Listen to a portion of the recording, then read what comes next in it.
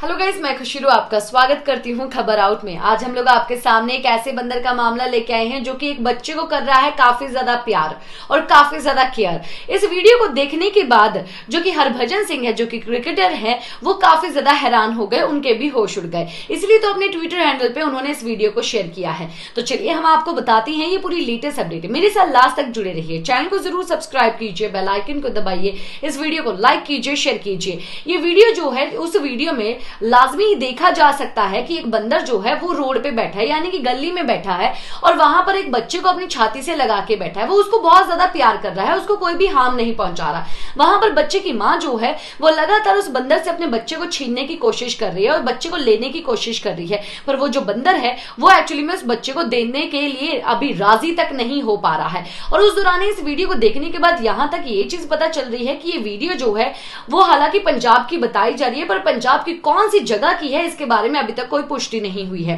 इस वीडियो को एक्चुअली में हरभजन सिंह ने अभी अपने ट्विटर हैंडल पे शेयर किया है। और अभी आप लोगों को हमें ये कमेंट बॉक्स में ये चीज़ बतानी है कि हरभजन सिंह आईपीएल में कौन सी टीम से खेल रहे हैं। अगर आप लोग आईपीएल मैच देख रहे हैं तो आप लोगों को लाजमी उनकी टीम के बारे में पता ज़रूर होगा। इसी के साथ मैं लेती हूँ इजाज़त। बबाई टेक केयर नमस्कार।